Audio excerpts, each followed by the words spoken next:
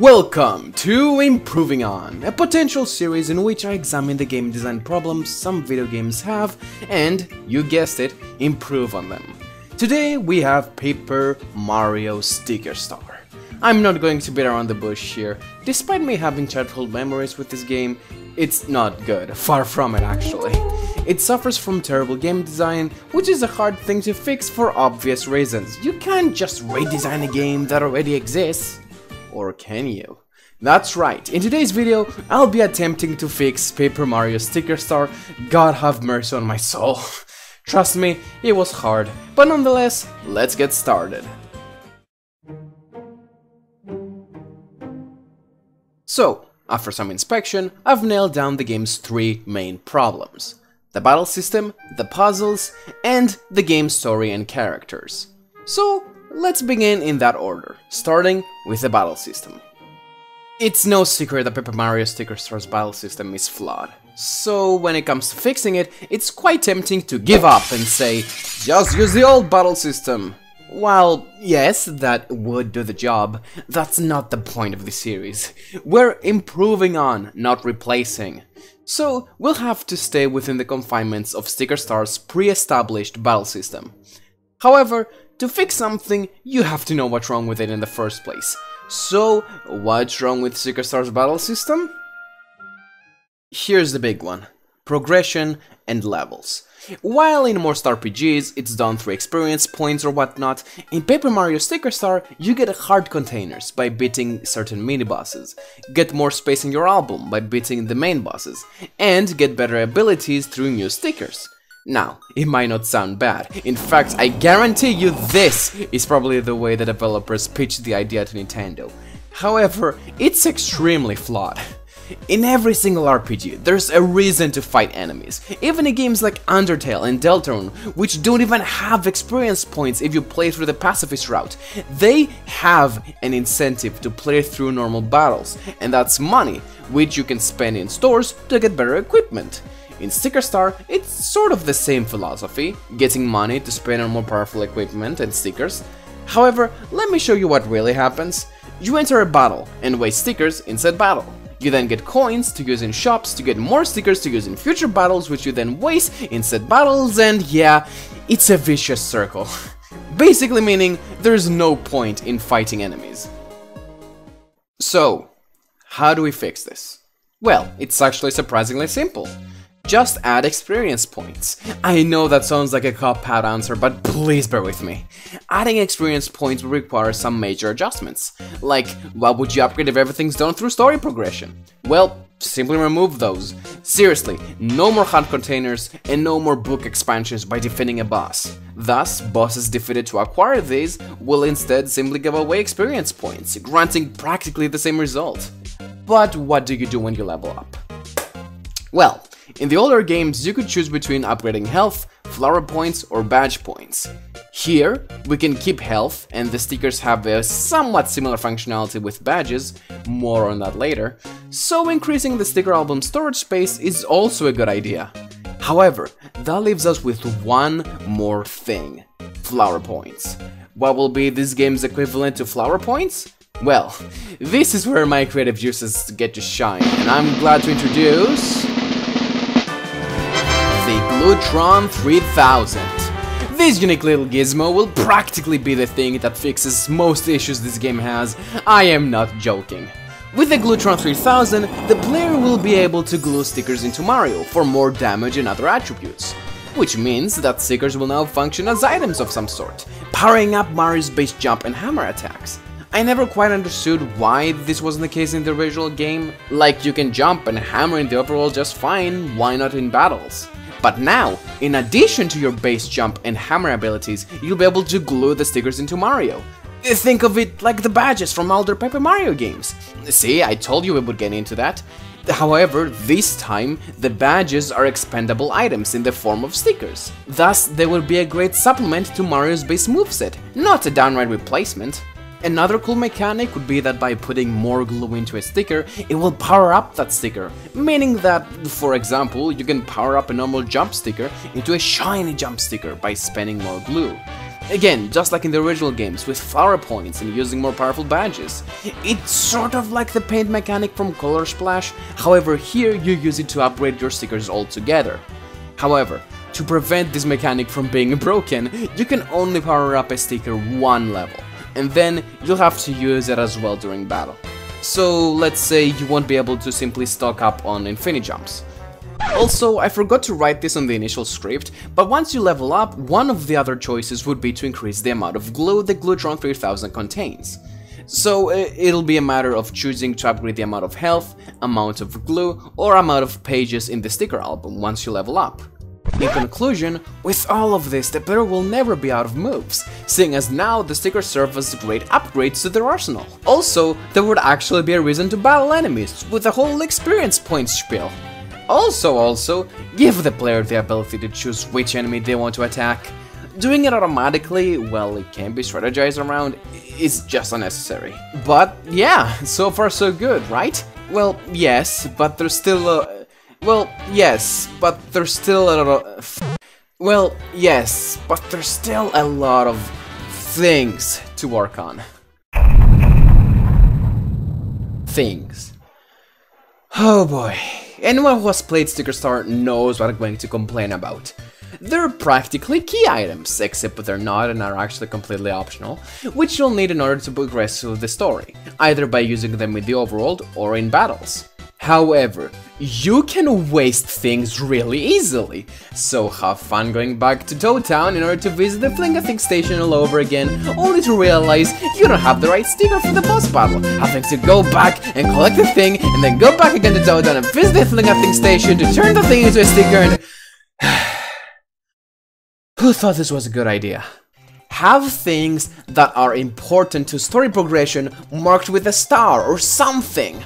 At least then people will know not to waste a thing sticker. Or perhaps have the big stickers be required for story progression and the small stickers being optional special moves. Perhaps you could use the Gluetron 3000 in order to turn them into stickers, making it more useful, and not having to visit the Fling-A-Thing station every 5 minutes! Literally anything is better than what we have here. Yo, post-production George here. I feel like going into a bit more detail with the ideas I just mentioned, starting with the thing sticker priority thing.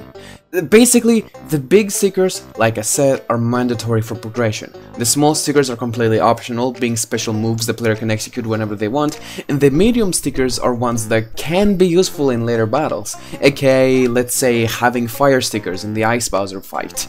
I forgot there were medium-sized stickers in the game, so I'm just clearing that up. Also, you'll be able to use the Gluetron 3000 to turn things into stickers during the battle as well. So yeah, that's about it. Uh, let's continue. Also, yeah, the boss fights suck. Most boss fights in this game follow this pattern. Weaken them for a bit, then they do something that makes you unable to hit them so you'll have to use a thing sticker on them to automatically beat them, otherwise you're dead. I don't think I need to say why that's bad game design. Plus, Kersti doesn't even hint towards what sticker you'll need until after you've fought the boss once.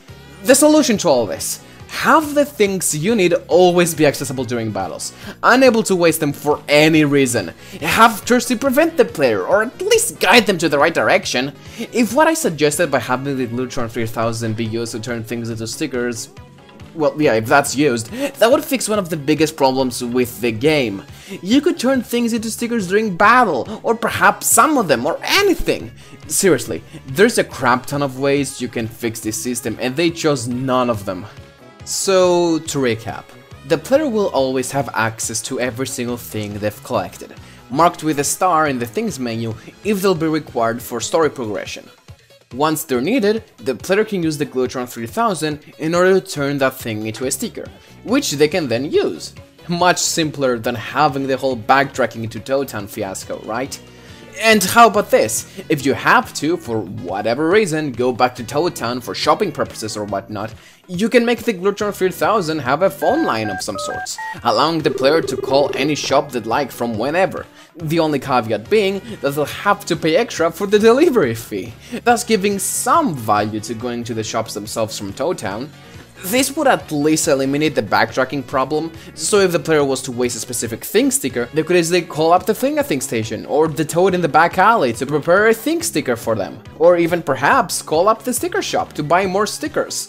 Either way, it will be an easy, a concise system that eliminates the need for backtracking. Okay, so Paper Mario Sticker Star, just like any other RPG, has puzzles and they all suck. They're either too cryptic, too annoying to solve, too hard to find without a guide, or all of the above. Point being, the puzzles suck. And unfortunately, that's the part of the game I cannot find an easy solution for. Why? Because puzzles are different. You can't fix a puzzle by adding a new gear on it or something. You will need to redesign the entire puzzle, and for the interest of time and of my own sanity, I'll refrain from doing so. Just note that the puzzles being bad is a uniform problem which stays consistent for most of the game. However, what we can fix is one of the ways the game proposes puzzles. And while we're not going to look at specific cases, this is a mechanic that, again, absolutely sucks.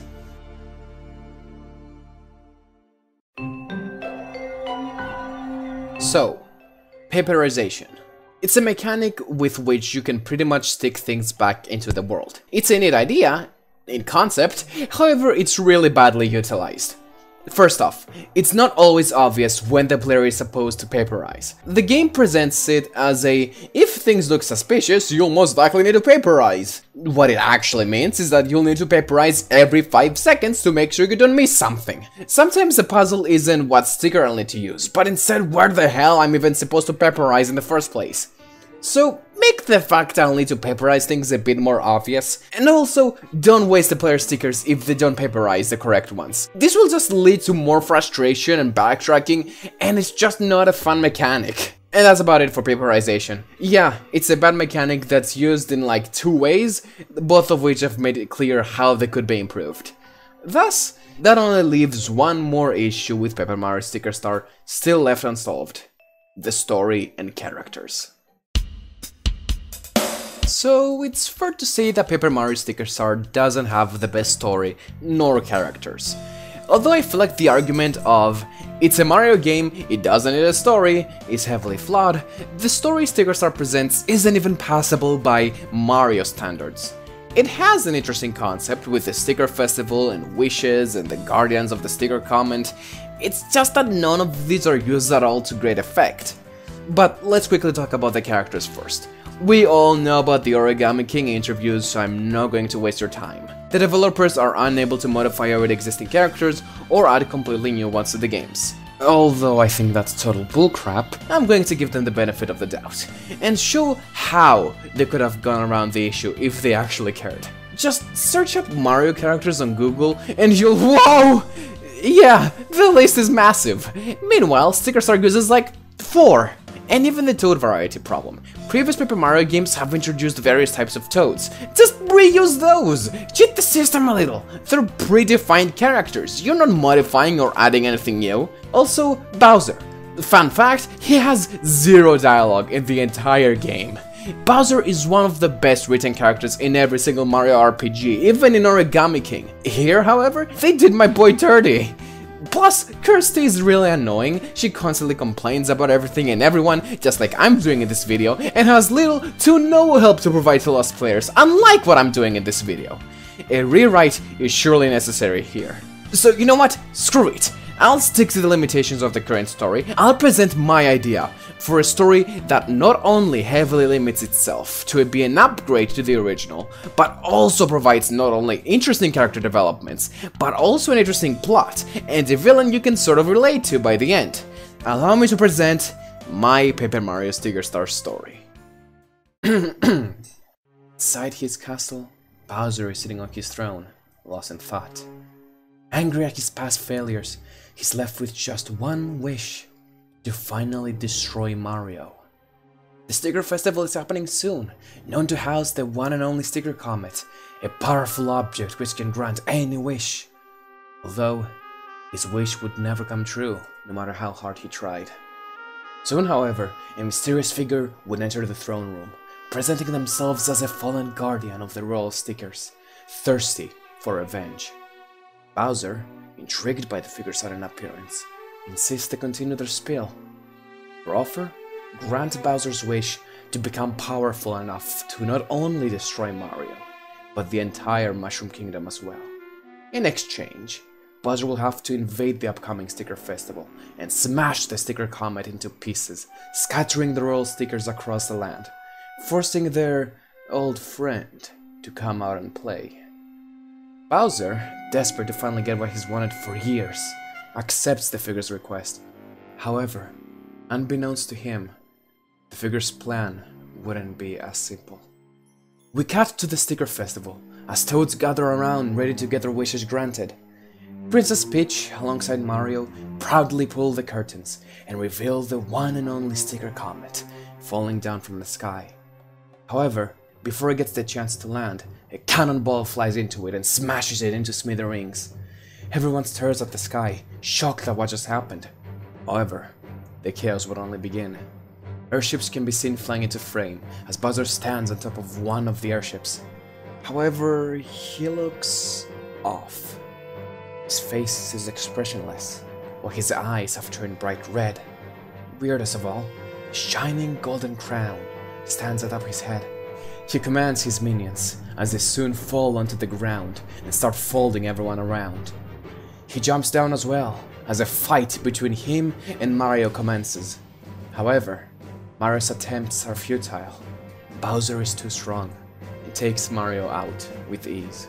As the screen fades away, Bowser can be heard laughing maniacally, as his mission turned out to be a success. The intro remains roughly the same, as Mario is woken up by Kersti, a floating tiara, one of the protectors of the Sticker Comet. The rest of the game progresses as usual, with Mario restoring some of the ruined Toad Town and him heading off to an adventure to collect the royal stickers. As for the rest of the game, instead of fighting Kamek, you fight Kammy Koopa, who was Bowser's advisor in the old Paper Mario games. It just makes more sense to keep that in line with the rest of the series. However, what's cool about these fights is that, as time goes on, they grow from showing slight concern for Bowser to them outright believing something is wrong with him. However, we now skip to the endgame, where instead of Flutter helping us go to the floating Bowser's castle, it's Bowser Jr. and Kammy Koopa, both looking uncertain. Their goal is to defeat Mario, that's what Bowser has ordered them to do. However, they know that the Bowser commanding them is not the real Bowser. While Kersti shows hesitance, Mario is to comply and reassures the Tiara. Thus, an uneasy alliance is soon formed, where Bowser Jr., Kammy Koopa, and Mario fly towards Bowser's castle, inside Jr.'s clown car. On their way, they find a bunch of Bowser's airships with the rest of his minions, who call them out as traitors for working with Mario. They fire at Bowser Jr.'s clown car, taking it down, as our trio crashes into the airship. With Mario being the only one withstanding the crash, with Bowser Jr. and Kammy Koopa staying behind, the airship level commences.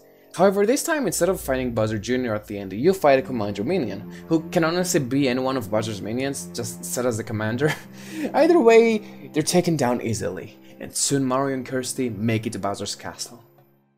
Bowser's castle is mostly the same, just without the comic boss fight because it sucks.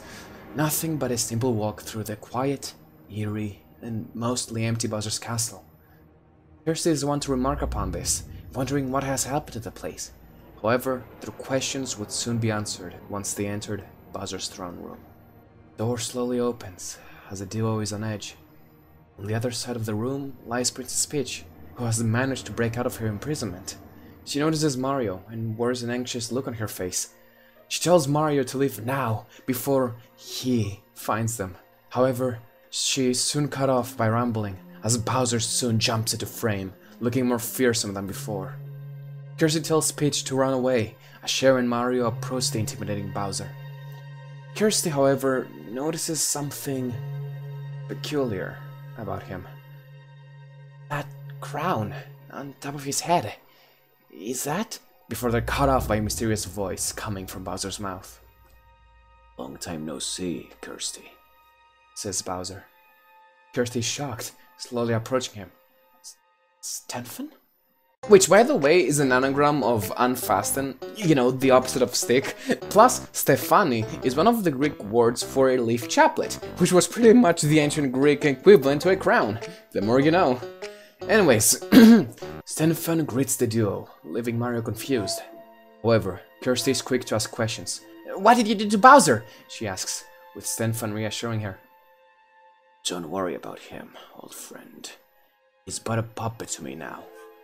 Nice vessel, wouldn't you say? Mario confronts Kersti about him. However, Stenfan takes the lead and tells the story himself. He was once a guardian of the Sticker Comet, just like Kersti, an object of unlimited power, able to grant any wish. While Kersti would only grant good wishes, Stenfan would have a different outlook. He wanted to use the power of the Sticker Comet to grant people's bad wishes, rain havoc upon the land. However, his obsession over said power would be noticed by Kersti, and she would soon banish him to the Mushroom Kingdom, forced to aimlessly wander the place he once was supposed to protect. Angry, filled with rage, he would construct one simple goal revenge. Thus, he would trick Bowser into becoming a vessel, so that he could take back the power that he once owned. And now, standing in front of Mario himself, he has no intent stopping now. The battle goes on as it does in the original game, however with the stupid sticker puzzles removed or at least heavily tweaked. And soon, after a climatic battle was over, Bowser was defeated once more. Stenfan, flying off his head, falls to the ground alongside him. Drawing his final words, he reveals to Mario the truth that once the guardian of the Sticker Comet dies, they turn into a royal sticker. So, may your wish come true, Mario. He says, before transforming into a royal sticker himself, which Mario soon collects. Holy shit, my throat hurts from all of that. Wow. I could gush about how much I love this story I've made. Like I said, it sticks to the basic idea, doesn't do anything wild, but has enough depth to allow the player to ponder. Does that mean the royal stickers we collect are the remnants of long gone guardians? Who knows? But still, I really like this! Of course, it's not perfect, as I haven't even touched the mid-game, but I think this is a decent groundwork at the very least. I try to refrain from going too fanfiction-y, or just too serious of a plot, and I think I did a pretty good job. Uh, Tell me what you think in the comments, I'd love to see your feedback. But that about does it for this video. I have to say, this was quite fun to work on. As fun as it is to talk about the problems many games have, it's equally as fun to try and come up with solutions to said problems. And that's what I want out of this potential series, you know? Keep in mind that I am working on a lot of other projects, like Project Revival, which I swear I'll show more of in the future. Plus, I also want to get more into drawing and game design. And at the very least, this video helped me out with that. So unless I decide to just quit YouTube and start streaming or something, I guess I'll see you all in the next video. Stay hydrated, everyone. So yeah, I guess now is the time for me to do the YouTuber thing. Uh, remember to like the video, subscribe, comment and all that. I've got some cool non-YouTube projects cooking up, so stay tuned for those if you want. I've also got a Twitter, where I usually post various art or other stuff I'm working on, so if you enjoyed the illustrations I made for this video, you can follow me there for more. But yeah, I'm nearly out of ideas for this channel, just as fast as I came back, I'm already dry. So, I don't know, worst case scenario, I might start streaming in September, probably gaming or drawing streams to be exact, so let me know if you'd be into that. These videos take a long time to make, time which I could use to work on my own games and stuff, you know? Streaming will definitely take less of my time away, but still, I enjoy making these videos, don't get me wrong. Just tell me what you all think in the comments, I make sure to read every single one. So, yeah, that's about it. See you all next time, bye!